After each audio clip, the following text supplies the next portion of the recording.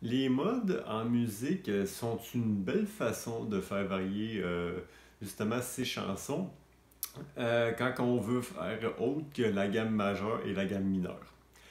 Mais la l'affaire, c'est que quel mode est bon pour quelle émotion générer. C'est de ça que je vais parler aujourd'hui.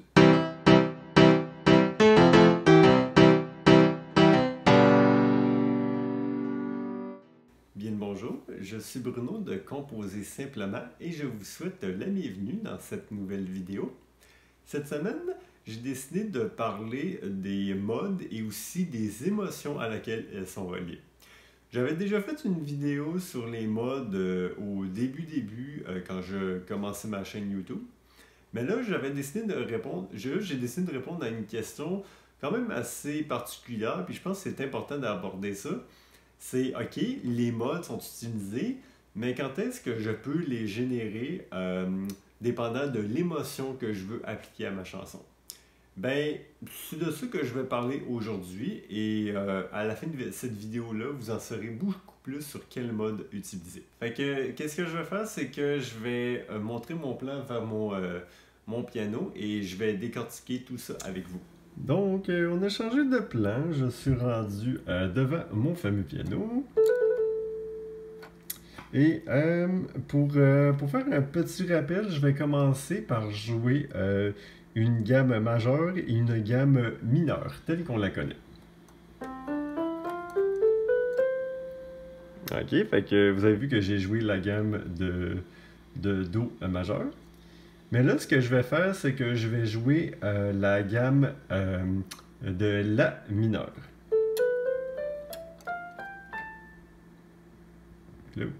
vous avez remarqué que c'était toutes les notes blanches que j'ai touchées. Ça, c'est un principe euh, intéressant qu'on appelle les gammes relatives.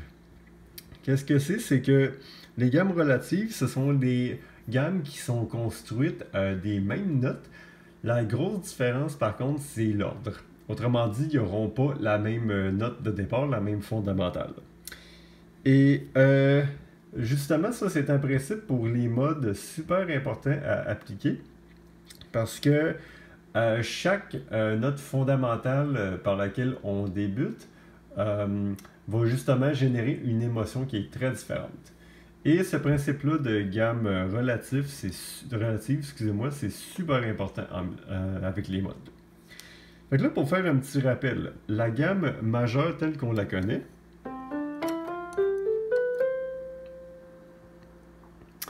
c'est ce qu'on appelle le mode ionien. Et pour faire un petit rappel, plus communément, euh, ce mode-là, comme la gamme euh, majeure, euh, ce sont plus des chansons qui sont. C'est plus un mode qui considéré comme étant joyeux. Fait que c'est des. Fait que c'est ce genre de. Si vous voulez ce style-là pour votre chanson, vous prenez un mode ionien qui est basé sur la note de Do. Et euh, pour reprendre le mode euh, éolien,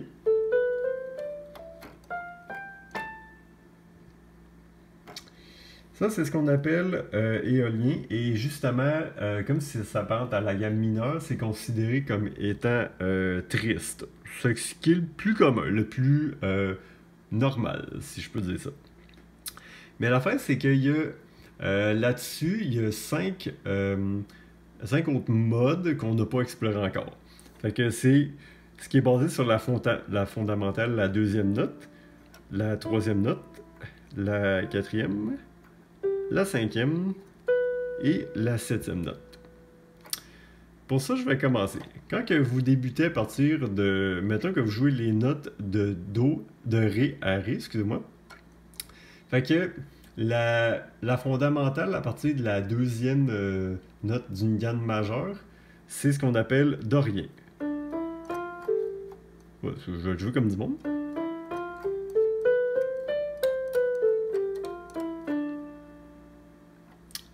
Fait que à partir de la deuxième note, c'est le mode Dorien. Généralement, Dorien, euh, c'est bon quand que vous voulez quand même une ambiance un peu euh, triste, mélancolique, mais que vous voulez quand même générer une euh, lueur d'espoir. Après ça, on passe de mi à mi. Fait que c'est ce qui est la troisième note d'une gamme majeure.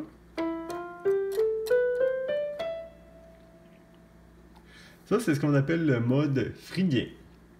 Et euh, le mode phrygien est bon pour quand même rajouter un petit côté euh, sombre.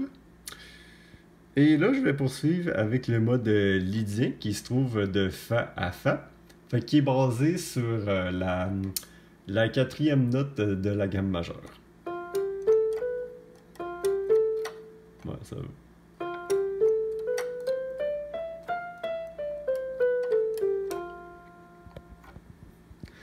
Euh, ça, cette... Oui, excusez.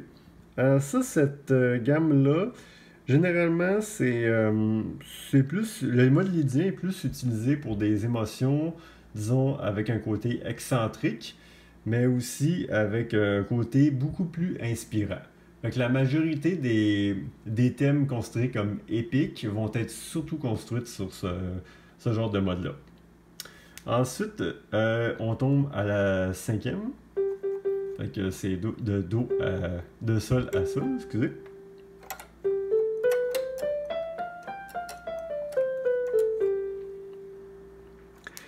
Fait ça, c'est ce qu'on appelle le mode mixolydien. Mixolydien, c'est euh, quand même un côté heureux qui est, comme, euh, qui est un peu comme le mode ionien, mais euh, quand même un petit côté un peu sérieux sans que ce soit trop, trop sombre. Et Là, la sixième note, vous l'avez vu que c'était le mode éolien, qui était la gamme mineure naturelle, fait que j'en parlerai pas. Je vais juste finir avec euh, la septième note qui est euh, de Si à Si. Et comme c'est basé sur la, sur la septième euh, note de la gamme majeure, c'est ce qu'on appelle le mode locrier.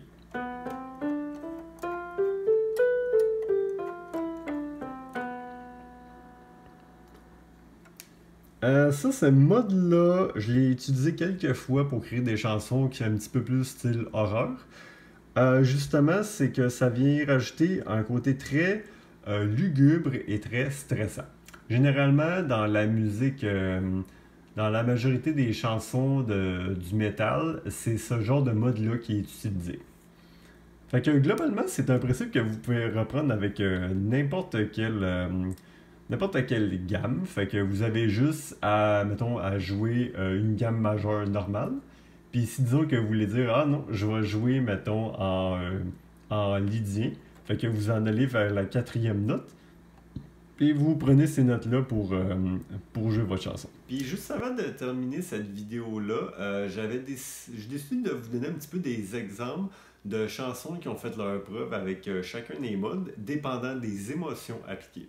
Mettons, je pourrais commencer avec euh, le mode ionique.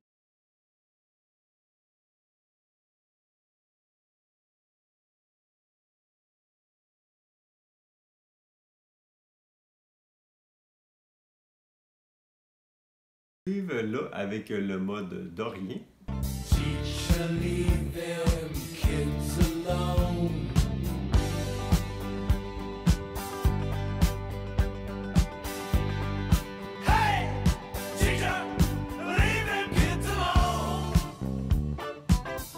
Le mode phrygien, j'ai décidé de prendre ça.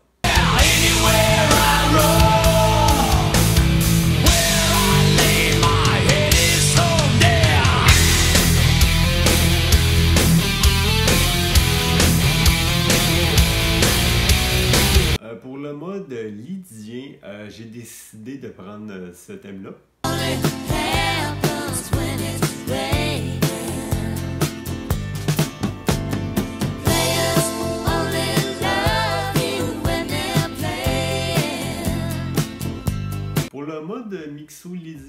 Décidé de prendre cette chanson-là.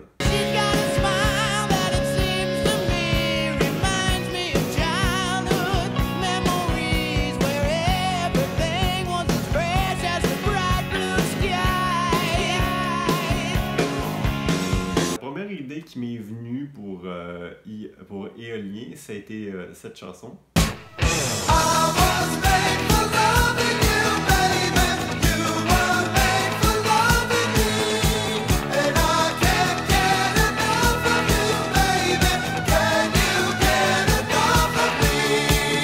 Finalement, pour le mode Le Crien, euh, j'avais beaucoup de choix, mais je me suis euh, tourné vers ça.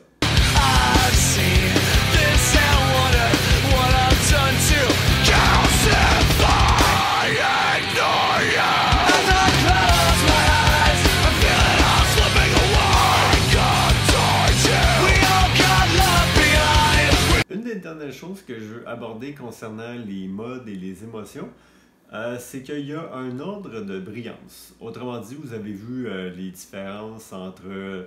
il y en a qui sonnent un petit peu plus clairs que d'autres, il y en a qui sonnent vraiment plus stressantes, plus sombres. Euh, la face, c'est qu'il y a un. Il y a comme un stade, de, un ordre de brillance dépendant des modes que vous utilisez. ça, ça peut aussi vous donner une bonne idée pour les émotions à appliquer. Euh, pour ça, je vais faire un petit rappel sur le cycle des quintes. Euh, parce qu'on a vu que, mettons, le mode lydien était le plus brillant, puis il est construit selon, euh, selon la, note de Fa. Fait que Fa étant la première. Et après ça, vous avez juste à suivre l'ordre jusqu'à Si, qui est, le qui est basé sur le. que le mode de crien est basé sur cette note-là. Fait que vous avez juste à suivre cet ordre-là et ça fait ça. Ce qui veut dire qu'en ordre euh, de, du plus brillant au plus sombre, le premier, c'est le mode lydien. Après ça, c'est le mode ionique. Après ça, on a mixolydien. Au milieu, on a le mode dorien. Après ça, c'est phrygien. Le plus sombre, euh, c'est vraiment le mode locrien. J'espère que cette vidéo-là vous a beaucoup aidé pour, euh, pour mieux utiliser les modes. Euh, pour faire un petit rappel, chaque mode a son émotion appliquée et aussi une ordre de brillance. Fait que si vous voulez vraiment une chanson beaucoup plus euh, qui sonne plus claire, plus excentrique, vous pouvez y aller vers le mode lydien. Mais si vous voulez vraiment quelque chose de sombre qui s'apparente par exemple à de la musique de film d'horreur, euh, là je vous conseille le mode le crier. Fait que moi je vous pose la question, est-ce que, est que vous utilisez un mode en particulier quand vous composez vos chansons? Personnellement, j'adore utiliser le mode Ioni et le mode Dorien. C'est mes modes préférés. Avec, vous pouvez m'écrire ça dans les commentaires, puis moi, je vais vous lire. Puis si jamais vous avez d'autres questions sur euh, les modes ou sur l'écriture ou quoi que ce soit, vous pouvez me les écrire et moi, je vais faire aussi des vidéos là-dessus. Donc, c'était quel mode pour quelle émotion? Je suis Bruno de Composer Simplement et je vous dis portez-vous bien